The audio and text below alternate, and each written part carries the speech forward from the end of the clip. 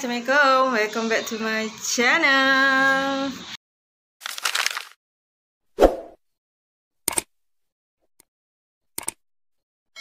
Okay, dah berapa hari dah tak buat video. So, hari ni saya nak buat video lah. Okay.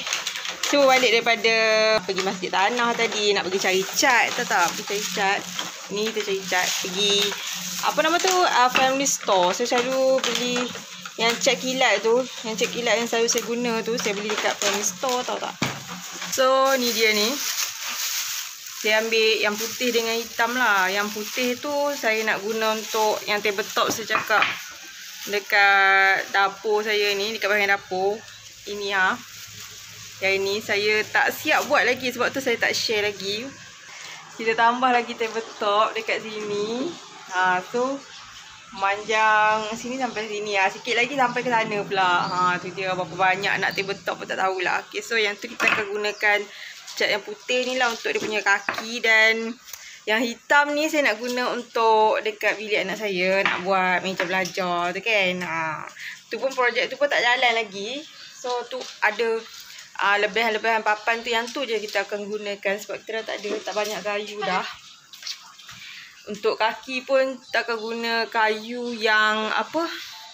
Suami saya dapat uh, kutip dekat tepi-tepi kilang kilang kayu.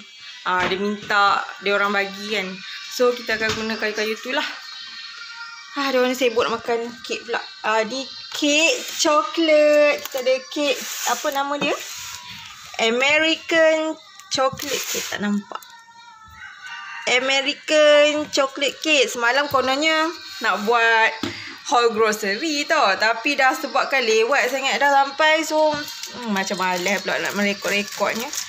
So ni saya beli dekat Maiden. Dekat Maiden macam-macam jugalah ada jual kek-kek yang dah siap ni. So ni tak tahulah sedap ke tak kek ni. So I nak try lah. Okay so ni dia kek dia. Kita belum rasa lagi.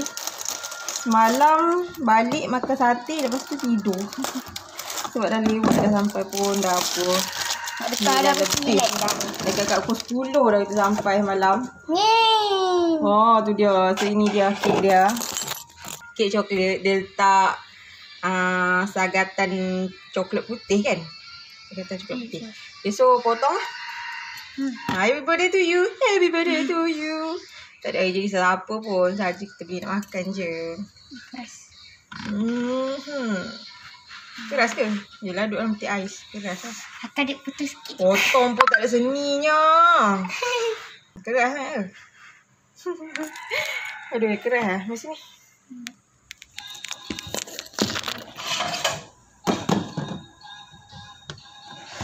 Wih, pelari daripada sarang ni.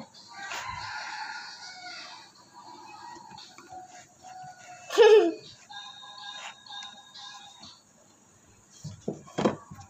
ni? Duduk dalam peti air lama sangat dia keras pula dia. Dia kena biar kat luar dulu ni. Tak boleh terus makan. Alah apa? Ada lapik ke bawah dia? Hmm? Macam ada ketah je ke bawah dia ni. Ada ketah. Saya pun tak rasa lagi ni. Sedap ke tak. So, nak try rasa. Bismillahirrahmanirrahim.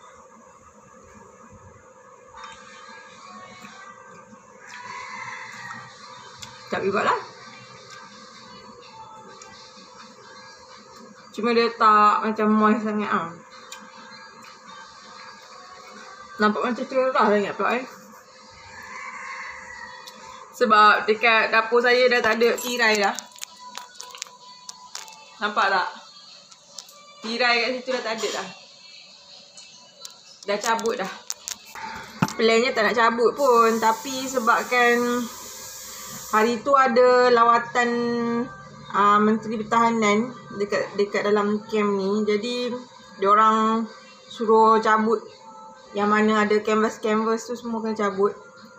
So kita cabut dah cabut dah malas nak pasang dah. Tak tahu lah. Tak hujan lagi. Kalau hujan nanti nak tengok lah macam mana. Tertias teruk ke tak kan. Kalau tak tempiah teruk sangat tu mungkin kita dah tak pasang lah kot. Kalau tempiah teruk terpaksa kita cari canvas lain lah pasang juga. Saya sebenarnya ada plan nak buat kan ada dekat dalam saya punya binder tu kan. Jom saya share je eh. Okay so ini yang saya cakap tu. Ah ni dalam binder saya ada 30 days decluttering challenge. Yang ini kan. Okay so saya akan ambil 30 hari ni untuk saya buat challenge decluttering susun dan sisih. Ha, so saya rasa saya nak share video ni start ni lah bulan 12 kan. Okay, hari ni pun sebenarnya dah bulan 12 dah ni. Ah, dah berapa hari bulan lah. 1 Disember. Okay, 1 Disember. Okay, start hari ni 1 Disember. Saya akan buat satu persatu decluttering dalam rumah ni. Ha, so hari ni satu hari bulan. Esok dua hari bulan saya akan start share. Kalau kita ambil uh, hari per hari, dia tak memenatkan kita lah. Memang saya dah lama tak declutter saya punya rumah ni. Saya nak declutter apa tak sepenuhnya kira macam kita ambil satu part ke satu part ataupun bahagian-bahagian tertentu supaya tak rasa macam penat sangat kan. So mungkin dalam bulan 12 ni saya akan banyak buat video decluttering. Saya akan share video decluttering. Okay guys, so saya tak masak lagi sebenarnya ni. Nak masak dulu untuk lunch.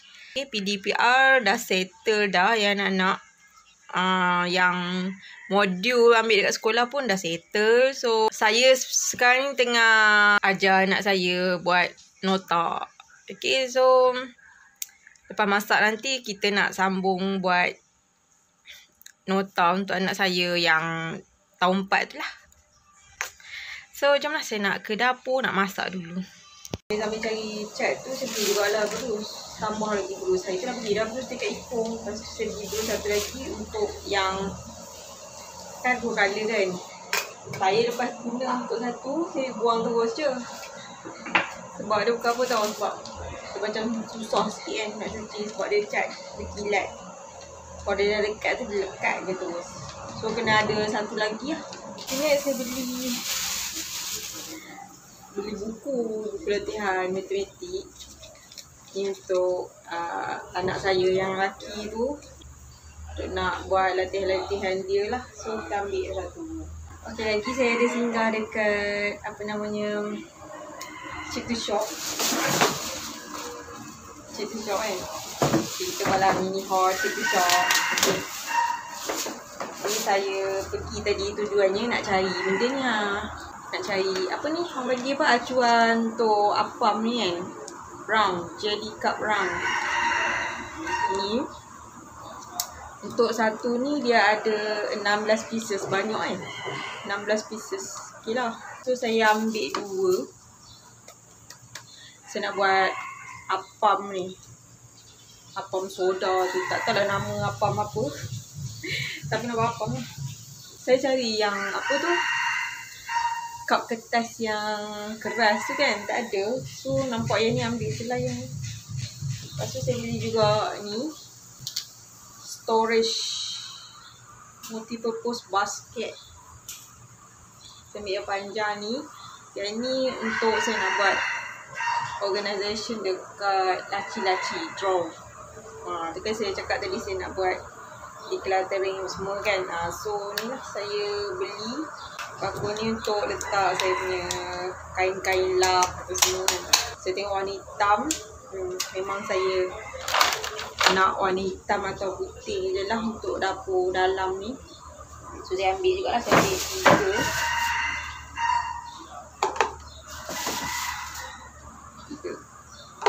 Chip to shop ni dia macam baku-baku macam ni kan. Dia tak banyak yang menarik tau. Dia tak macam eco shop. Eco shop macam-macam jenis baku yang ada dekat kedai Ipoh kan.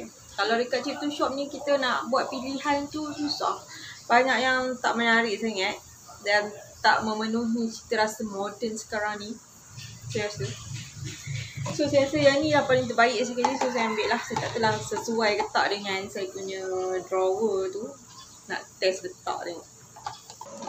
Dah test dah untuk satu drawer boleh letak dua. Saya bajet boleh masuk tiga ni sekarang ni kan. Tapi tak boleh, dia boleh letak dua je. Sebab drawer saya dia besar ni. Saya rasa macam kena beli lagi je. Saya nak tambah lagi um, tiga lagi lah kot. Lagi satu saya nampak yang ni, akrilik, bekas akrilik ni. Saya tak pernah jumpa bekas akrilik dekat kedai chip to shop tu. Ini salah satunya. Bukan salah satunya. Ini satu-satunya saya jumpa bekas akrilik dekat chip to shop. Bekas ni untuk kita letak uh, kad. Macam ni. Tapi kualiti dia macam tak berapa sangat lah. Cantik bekas akrilik kat Eco lagi. Tapi yang ni untuk organize desk untuk kita letak kad-kad memo ke apa ke lepas tu sini letak pen. So itu ni untuk saya nak letak dekat desk saya lah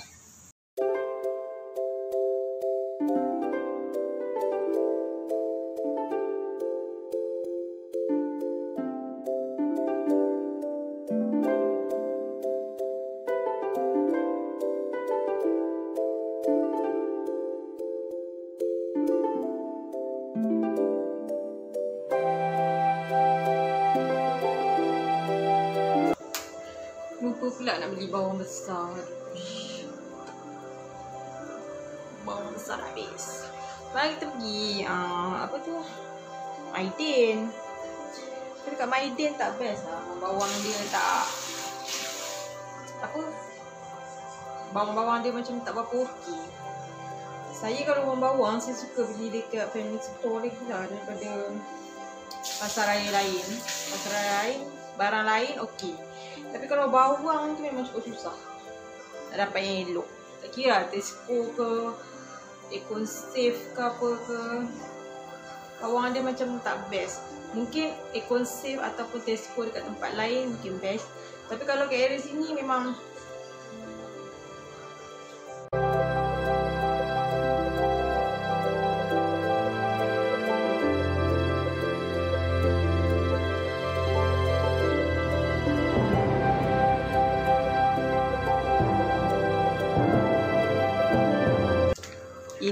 Tepung apa yang seberguna punya tu? Tepung goreng rangup Untuk kita nak goreng ayam ke apa kan?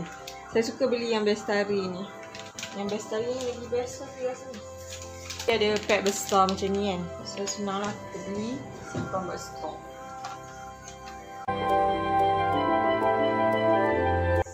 Pack ni untuk uh, Pack ni sekilo tau satu bungkus ni.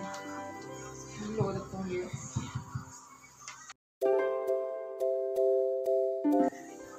Kita akan buat bantuan sebab saya nak buat ayam Korea. Ayam Korea spicy. Kita akan ambil lebih kurang dua sudu untuk kita bancuh. Empat sudu untuk kita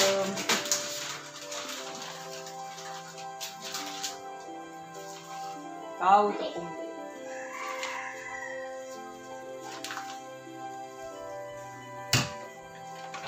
Dan kita tambah sikit dengan tepung jagung. Tak lagi dia macam rangup sikit kan. Tambahlah satu sudu. Gaukan dia. Okey. Ini kita bancuhkan dengan air.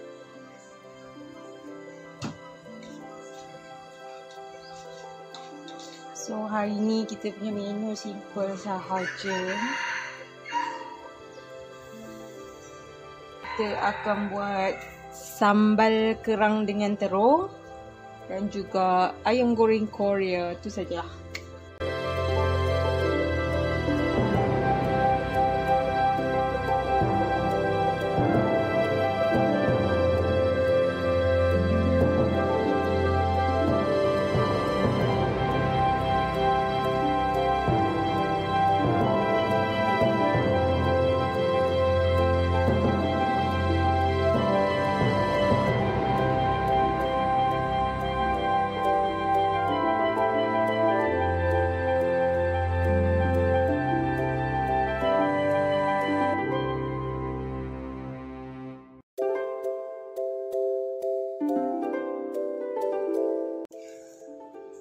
Kita nak makan dulu.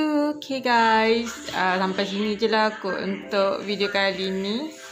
Tu ada nasi goreng pagi tadi tu saja letak kat sini. Kok kau orang nak makan nasi goreng. Okay guys. Thank you for watching. So bye bye.